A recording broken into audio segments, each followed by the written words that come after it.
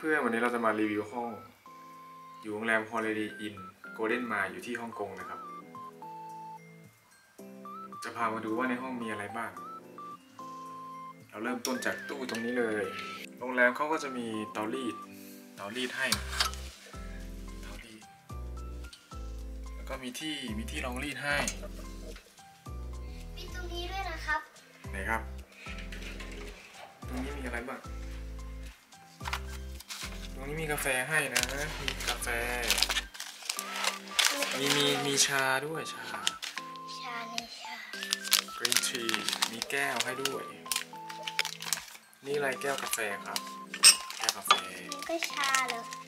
ใช่ครับ ชาไหนสีอะไร อันนี้กาแฟ ใช่ อันนี้อะไรอะ Coffee Mate ครับคาเฟ่เ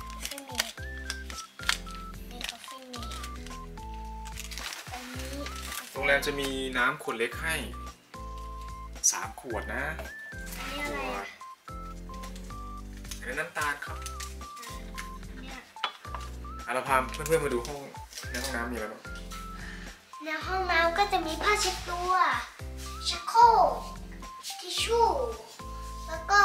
อ่างล้างมือครับอ่าล้างมือมีสบู่ด้วยนะมีเนี่ยสบู่มีสบู่ให้ด้วย อันนี้ในซองนี่มีอะไรมีอันนี้เป็นแปรงสีฟันยาสีฟันนะ มีผ้าเช็ดตัว อันนี้อะไรอะผ้าเช็ดผมไหมผ้าเช็ดหน้าเลยผ้าเช็ดหน้ามีผ้าเช็ดตัวด้วย อันอันนี้อันนี้ไม่ใช่ของเรานะครับ อันอันนี้เราลองเอามาเอง อันนี้เรามาเอาจ้ะเอง อันอันนี้แก้วแก้วนี่ในห้องนี้มีอะไร นี่มีสบู่มีชาบูสบู่สบู่ยาสระผมสบู่ยาสระผมหอมมากเลยอะหอมมากเอาไปพาพาไปดูที่นอนที่ที่นอนเลยครับที่นอนโอ้ที่นอนมีเตียงสองเตียงด้วยห้องนี้ อันนี้มีหมอนด้วยขึ้นไปแล้วหนึ่งคนขึ้นไปแล้วหนึ่งคน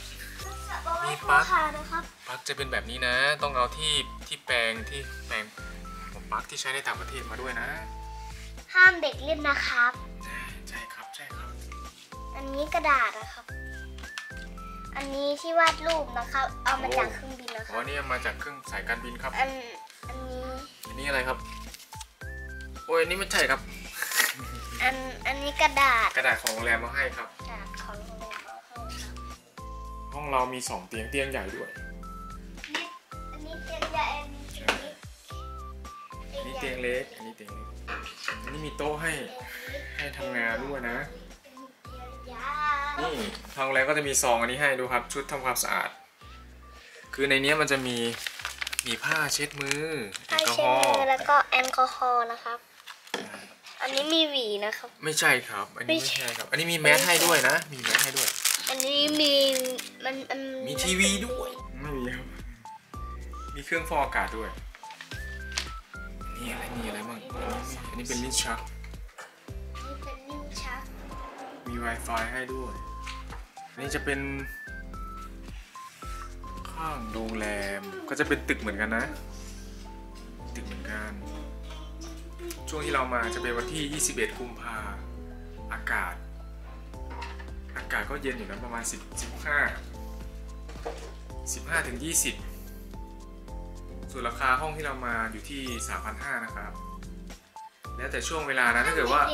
เอาเอามือมาแหย่ตรงนี้ ใช่ ถ้าเกิดว่าช่วงเวลาที่เป็นเทศกาลตรุษจีนหรืออะไร ราคาก็มันจะประมัมานณมีสี่กระพัแสไฟฟ้าอยู่ข้างใน ใช่ใช่ใช่ใช่